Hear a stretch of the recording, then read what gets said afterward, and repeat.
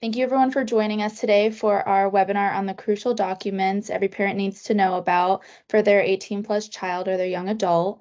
Um, with me today, I have Dominique Braggs and George Reilly. George and Dominique, do you want to go ahead and introduce yourselves? Um, absolutely. Uh, good afternoon, everyone. Thank you for joining us. My name is Dominique Braggs. I am um, I am a native Virginian. I grew up in the Arlington area. I'm a divorced mother with three kids, and in fact, my my youngest son is taking his final exam uh, of his junior year in college. So very excited about that, and uh, that tells you. Uh, I have 18 years of experience in estate and trust work, but um, all three of my children have been through college and are now young adults, and so this is uh, this is a topic that has been very near and dear to my heart for the last few years. Uh, hello, everyone. Uh, George Reilly here. I was a, uh, a career naval officer and attorney uh, well, for a lot longer than I thought I was going to be. Uh, father of two, and uh, learned some valuable lessons, both legally and otherwise, being in, in that parenthood role. And we're going to be talking about some of those as we go through the, the presentation today. Perfect. Thank you guys so much for joining us today. Now, George, I know you wanted to go ahead and start with a personal story of how you came about to understanding all the important documents. Um, so the floor is yours. Okay. Well, as I, I hinted at, uh, you know, I, I was a, uh, a career naval officer, so I had a lot of time in the service where you know, I was a service member and my family members were called dependents. And I that's kind of the mindset I had. But, you know, I think we all, all parents have feel that way to some degree because their children are dependent on them for things like, I don't know, food, clothing, shelter, uh, cell phone plans, car insurance, uh, uh, health insurance, and so forth. So that is, you know, kind of the mindset we go into, and that changes though, or at least some of those things change when our child, now a young adult, turns 18, some of the things that we assume that we still have the rights and responsibilities for as parents change, and certainly our children think that they are adults now, so uh, the rules have changed for them as well. But my story was again, I was a, a lawyer for a lot of years, and uh, my son, uh, my, my younger uh, younger child, my son was off in college, and we were there at the parent uh, uh, student orientation, and one, one of the associate deans from the university was giving us the uh, presentation talking about their student rights. And among the student rights were the right to you know, privacy for their things like well their grades for example their the finances their dining plan their health care issues all of these things that you know again, we as parents were saying wait a second we're paying for these things. Uh, why what, what, do you mean student rights uh, and the university uh, in, in their infinite uh, wisdom uh, nicely put in some paperwork in these folders that we were given for that presentation. And the uh, the dean advised us that if the student consented they could sign the paperwork that was in the folder and allow us access to things like their grades their financial records the health care all these waivers were in there and I think to a person, every parent I saw turned immediately to their student, pulled out pens, and they were, uh, you know, the young adult was, uh, with consent, signing those those documents to allow the parents access. But it was a kind of a you know a, mindset change for me. I said, oh yeah, right. You know, he's he's 18 now, and we've got to do these things. So we're going to get into some some scenarios and and some legal issues for that, but just be thinking along those lines. If your university, if your child's off to college and the university has not provided you with those forms, and or your child has not told you about those forms, uh, something to be thinking about that you'll you'll need them.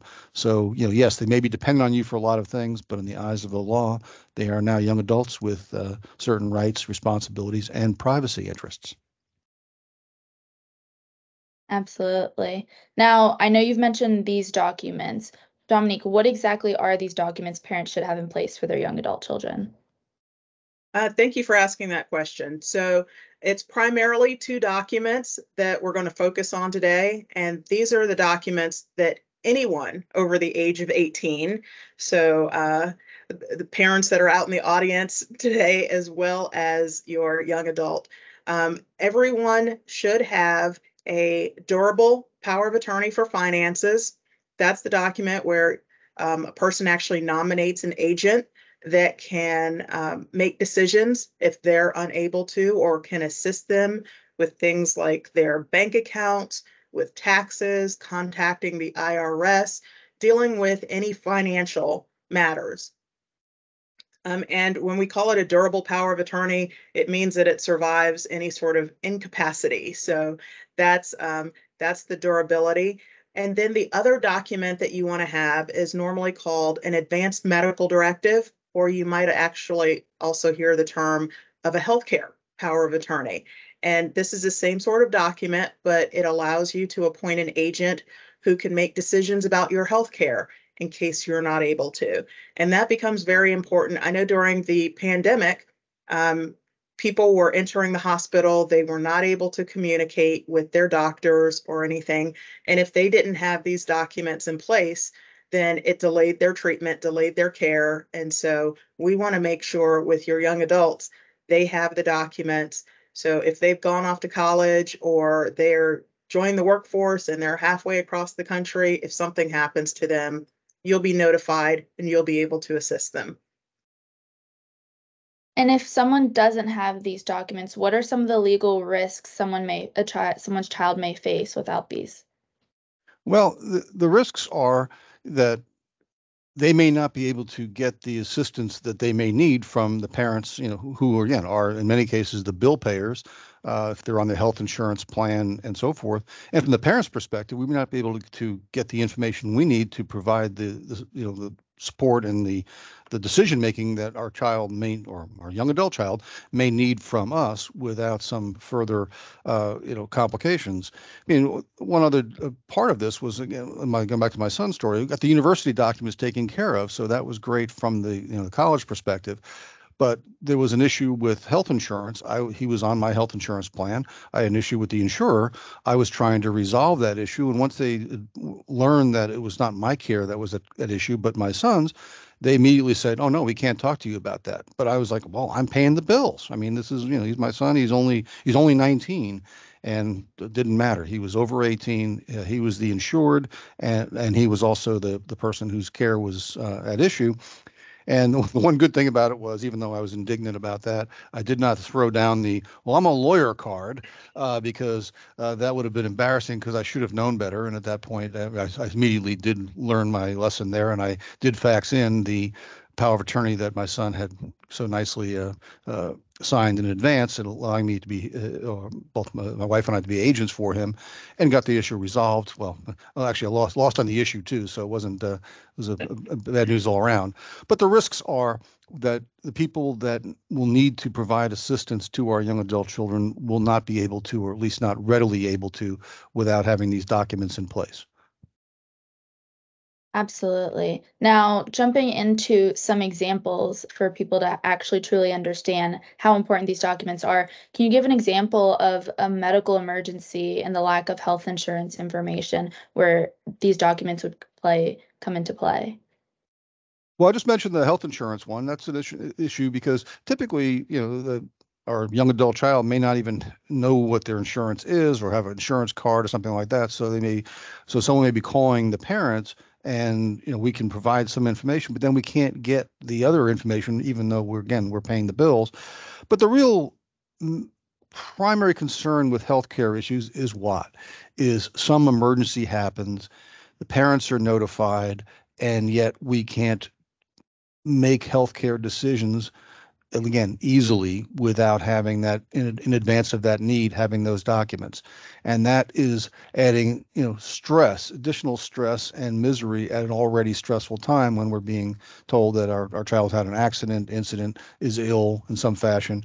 Um, eh, it is not a, a, pleasant experience for anyone uh, even with legal documents and it certainly is awful without. So as I like to say, you know, kind of in my catchy way is, you know, have the plan in place for the just in case. And that's what this, you know, that document, you hope it's never needed, but if you if you need it, you want it to be in place, effective, and allow you as your as the parent to to be in that parent role and the decision maker as needed for your child. So I, I just want to say in addition, when we're talking about medical emergencies, this actually happened with my son, the, the now junior in college. But uh, last year he played football, and um, you know a lot of our a lot of our children, and I call them children because they will always be our children, no matter how old they are. Um, I, I tell my 28 year old, I still remember bringing her home from the hospital and she rolls her eyes and says, stop telling people that. Um, but my, my son last year, he was 19 years old playing in a football game um, and, or actually at practice uh, during the football season and broke his elbow. And, uh, you know, uh, he was taken to the hospital. Thankfully he was able to contact us and say oh by the way don't worry i'm fine but i'm in the hospital and this is what's happening. So um, the importance of having these documents in place is sometimes your child would be able to call you and say don't worry mom and dad you know i'm okay but i'm just in the hospital right now. I broke a bone or something where it's more concerning is if they say get a concussion and maybe they're unconscious and they're taken to the hospital. They're not able to call anyone. And so without having these documents in place you might not know that um, that your child is in the hospital right now. You might not know that they need to have surgery. And in order to get that surgery you know someone is going to have to give the authorization for that and uh, one thing i will point out with the medical emergencies in some instances, you may be contacted in an emergency because you are the next of kin. So even if you don't have these documents, the hospital might contact you because you're the next of kin. But what will happen is if the documents are not in place, if your child is over 18, you won't just be able to consent to a surgery on their behalf. Instead, you might have to go through a court process and you might have to become a temporary guardian for your child in order to consent to a surgery. Wow. So these documents really are extremely important in worst case scenarios. It's important to have, I feel like. I know I didn't have anything, so thankfully nothing happened to me while I was away at college, but God forbid something happen, I'd feel protected if I did have these. Um, switching gears to college life, I know we talked about medical emergencies in college, but what about the financial aspect of like academic records or financial aid complications? How can these documents help? Well, just in general, financial issues um, uh, can be a little complicated too. I mean, even if you have access to a child's account, I mean, through our credit union, I was an authorized user, but I was not a joint owner because it wasn't it was their money, not mine. But I was able to. Well, the important thing was I was able to put money into their accounts, so they had access to it at the university. Uh, but on the other hand, that also gave me visibility on what they were spending money on. So that that was kind of the you know the the other side of that coin. But I didn't necessarily have access to all of their finances. I mean, as some, as you know, many times people go to college and there's incentives to there's uh, the credit cards. They, they want to have students have credit cards because that they'll spend money. And you know they may not even have a job, but then they can say, "Well, rely on your parents' credit," but the parent is not on the credit card, and the parent may not even know the child has a credit card. So what if there's an issue with that credit card? I am not going to be able to talk to anyone because I'm not on it and I'm not an authorized user. So that financial power of attorney can be very, very important.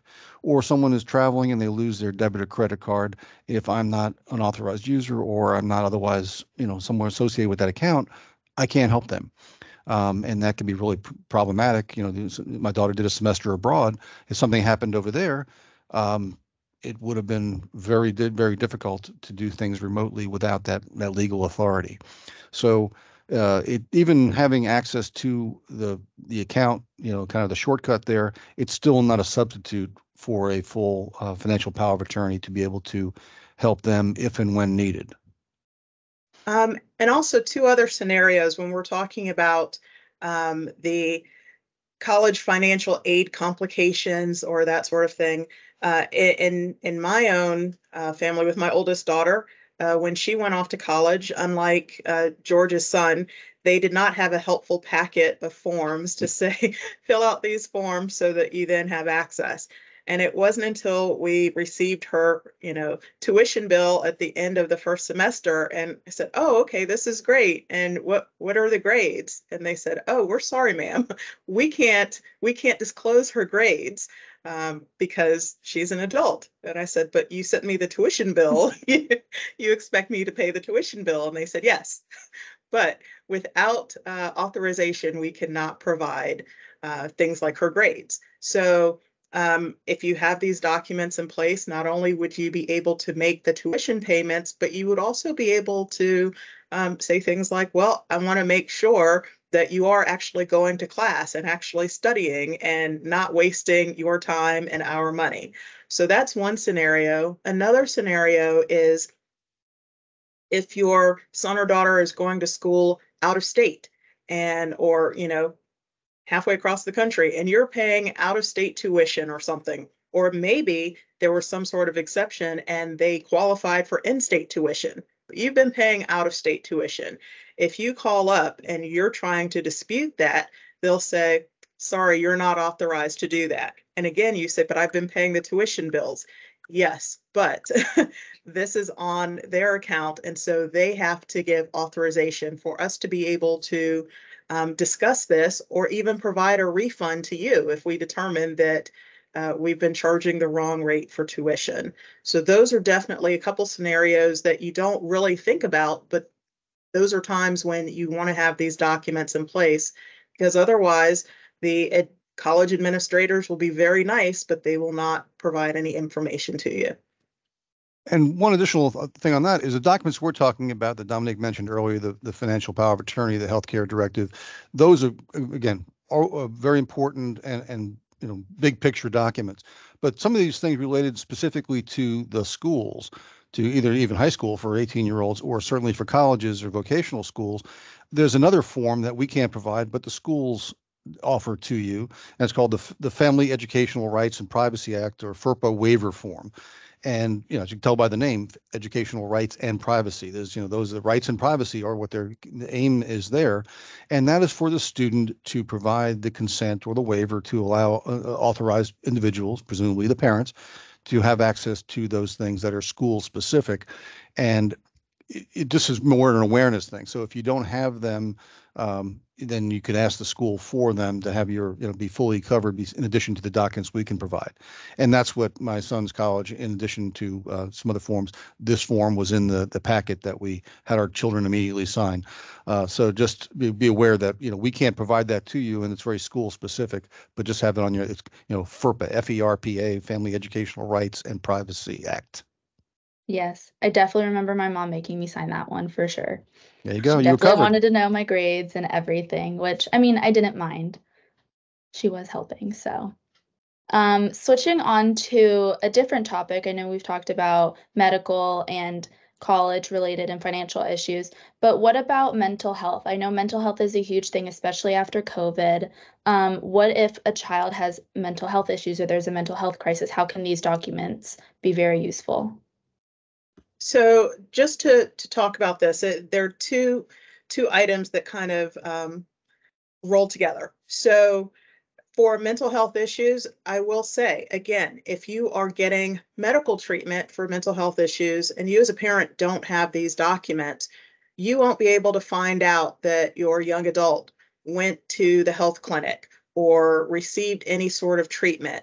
And we've seen, unfortunately, I know that there was a, a, a college student a few years ago here in the state of Virginia who had a mental health crisis and ended up, um, it didn't end up very well, basically. And unfortunately, the parents had no idea that their daughter was even going through a crisis until after she had passed away. And so it's so important to have these documents just so you will be notified and made aware if your child is going through some sort of crisis.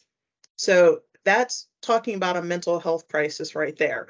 But another um, form of documents that I, I don't want to miss this because we have parents who have been working with their children who maybe have some special needs and you've been taking care of them their entire life you know that they are going to continue needing additional assistance. They might not be able to live independently of you even after they turn 18. They're probably going to need assistance maybe for the rest of their life.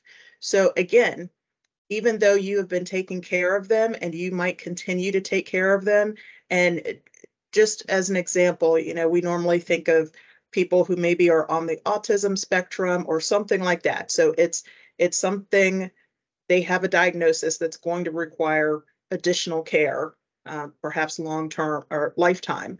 The thing is, once they turn 18, in the eyes of the law, they are adults. So in most instances, we would have the young adult sign these power of attorney documents. But in a case where someone has maybe uh, some uh, incapacity issues where they're not able to uh, take in information and process it and make decisions, you as the parent, in order to uh, be able to continue making decisions for your young adult, you might actually need to petition to become their legal guardian.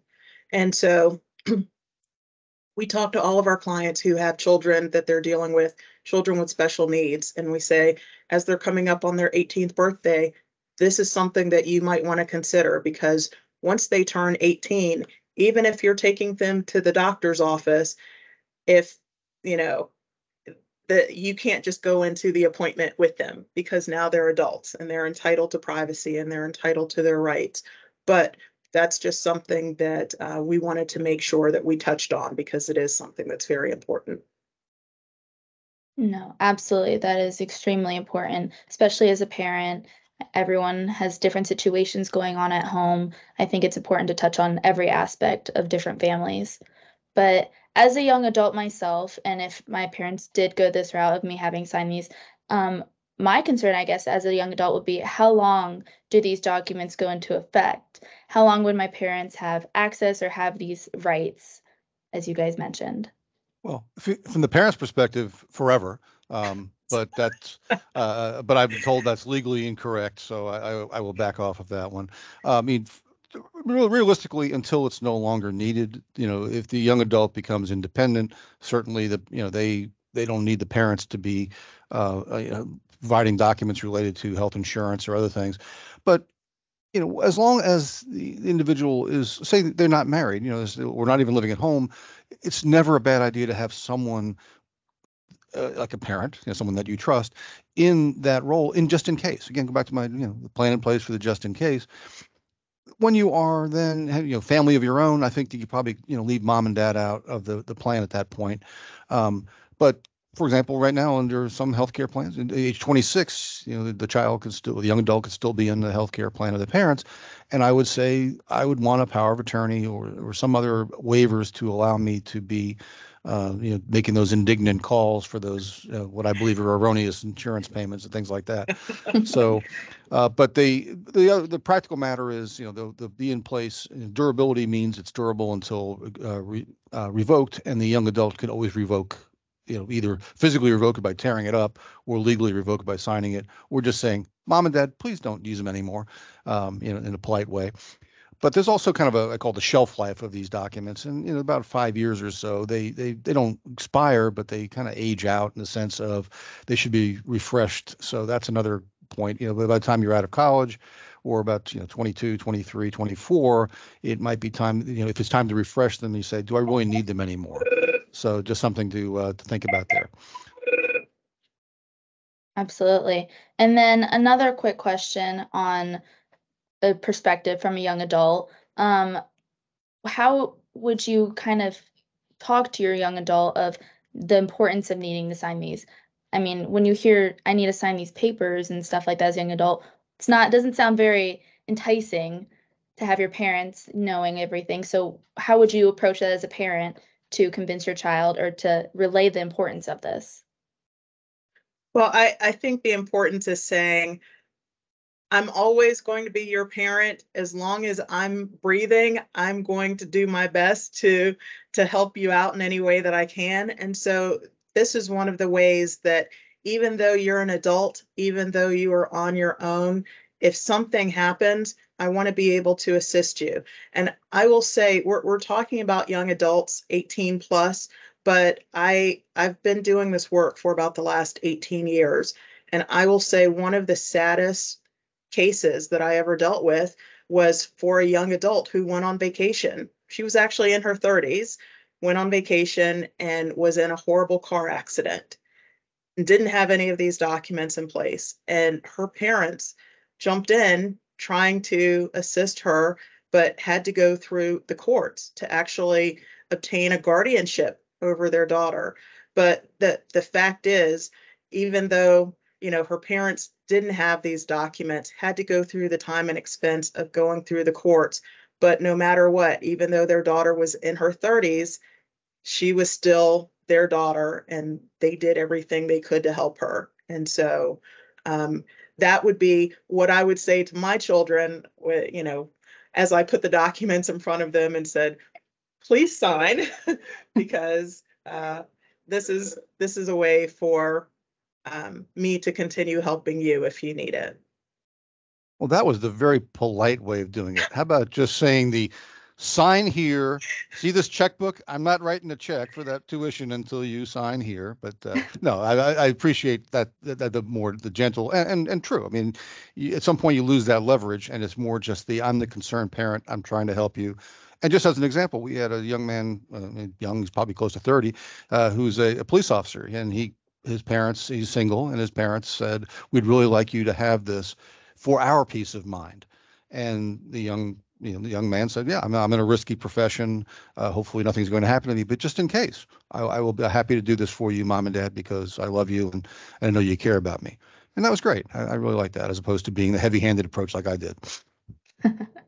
So a safety net aspect Absolutely. to be there no matter what. I love that. That's that's really important to have.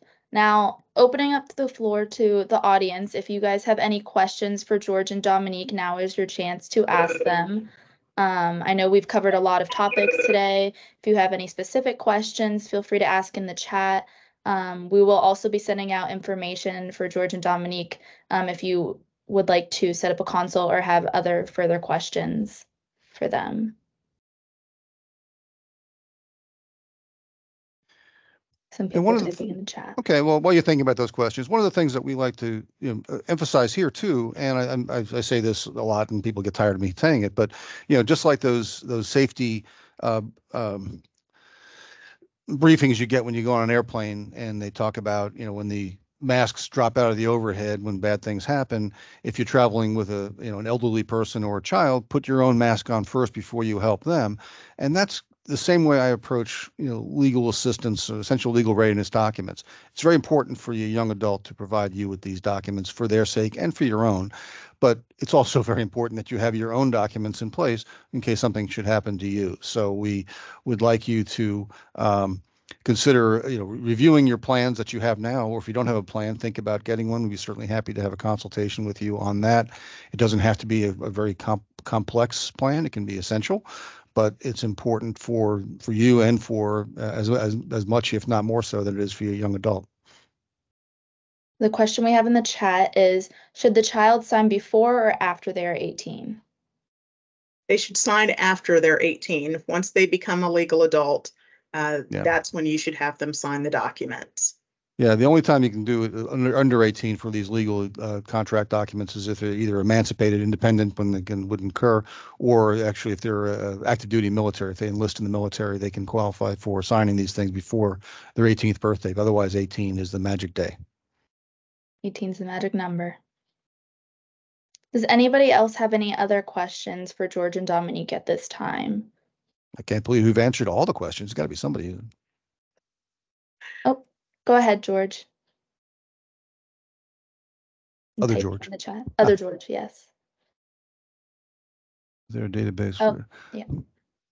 Um, database, no. I mean, I think if you have the, um, in the university would have the records there, uh, for, you know, your student while they're, while they are a student, they have all those records in the student's central file, I suppose. Um, if you file a power of attorney with the bank, the bank would have a, a copy of that on a record, your primary care physician for a healthcare, phys- uh, power of attorney but there is no central database that I'm aware of to to hold these. I'm not sure I'd want it either, to be honest with you. Where would be the best place to store documents like these, though? Should the child hold them? Should the parent hold them? What's the best approach for that? So the, the approach that I recommend to clients is, um, these are documents that you can make copies of the documents. You can use electronic uh, forms of the document, and they are just as valid as a document that has an original wet ink signature. So therefore, I say, um, first of all, uh, whether it's the parent or the young adult that has the original either one is fine because the copies are going to be treated just like the originals. Um, I'm so sorry. Someone keeps trying to, to call me during the training. Um, the copies are going to be treated just the same way as the originals. The main thing is to um, make sure that you have copies and put them in a safe place with your other uh, safe documents. For the power of attorney documents, um, sorry, for the power of attorney documents, uh, in order for them to be effective, the agent needs to have a copy of the document so that they can actually provide it to the bank or to anyone else that they're speaking with. Um, for the advanced medical directive, I say give a copy to your doctor, give a copy to if there's a hospital that you routinely go to for tests, make sure that they have a copy in your file. One of the things I say, make sure that you have a copy in the home. Uh, for your uh, advanced medical directive, place a copy on your refrigerator. Um, if you have an accident or incident in the home, EMTs are actually trained to come in and look and see if there are any medical directives uh, there in the home. So uh, these are documents that I say communicate and share them widely. One of the other things that we offer within the firm, if we prepare these documents, we give the originals back to you and we can make a hard copy for you, but we keep electronic copies of these documents. And this is helpful because if you're ever traveling or say your young adult is halfway across the country and can't find their copy of the documents, you can contact us and we would be able to provide an electronic copy. And speaking of electronic copies, you can even have, you know, you got one of these portable devices in your and you're with you, uh, that's often, you know, whether it's a picture or, you know, a PDF or some, ver- you know, some doc- version of a document is on an electronic device, particularly for medical, not necessarily for banking, but for medical, they just want to make sure that they're talking to someone who has been previously authorized to to speak. The the privacy waivers are in place. They don't want to unduly delay, you know, the, the conversation or the treatment plan, but they just need something to, you know, provide some some protection for them. So even showing that I, I am the parent or I'm you know, power of attorney and it's a copy of here on my phone, that's sufficient. The one place I would not recommend having originals, if you need originals, is in a safe deposit box at a bank because of access limitations. And again, copies of this are perfectly fine, but if there's something that needs an original, or if all of the copies are in the safe deposit box and you need it at seven o'clock on a Saturday evening, guess what? Unless you are going to break into the bank, which I don't recommend, uh, you're not going to have access to it. So, you know, we, as I said, Dominique said, we keep electronic copies. We could provide that for you in an emergency. That's happened to me as well. I've had uh, some clients reached out and and I was able to take care of that for them, and it was a big weight off their shoulders. And that Monday, they went back into the bank and they took their documents out of their safe deposit box. So that's the one place I'd recommend not putting them.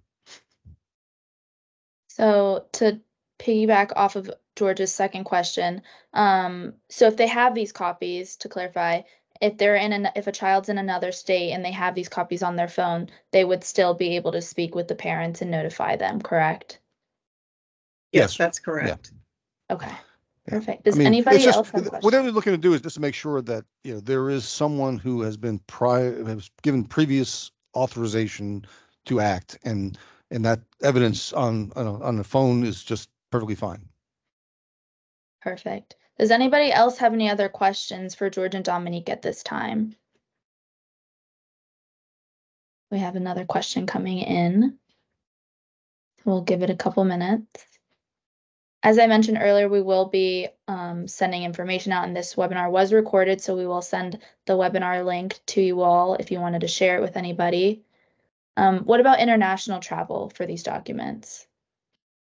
Yeah, that's that's a tough one. The uh, typically powers of attorney are not recognized overseas, but really the issue is not the overseas need for it. It's the person back home for the overseas traveler to help them deal with, you know, some just the lost or stolen wallet, for example, dealing things like that back uh, here. Uh, but the power of attorney does not really going to help you in a foreign country, but it's really to help you while you're in a foreign country, if that makes any sense. Although one thing I will say is if you're traveling and say one spouse gets sick and is taken to a hospital, it's helpful to have these documents because again, they can at least look at this and say, yes, this is the spouse, this is the person who's authorized to talk to us and make decisions about their their health care. And that actually does happen more often than you would than you would realize. And so Um, and maybe it's because it tends to happen on cruise ships or at resorts or Mhm. that sort of thing. They, they will accept these power of attorney documents and will then uh, speak with you. Yeah, good, good point. That's they, you know, it's, it gives them something to say, oh, yes, you're an authorized person, even if they don't follow the, you know, the, the same power of attorney laws and everything over here. Right. That is very useful. I didn't even think of international. I'm mostly thinking of Yeah, great when you're in the States and stuff like Mhm. that.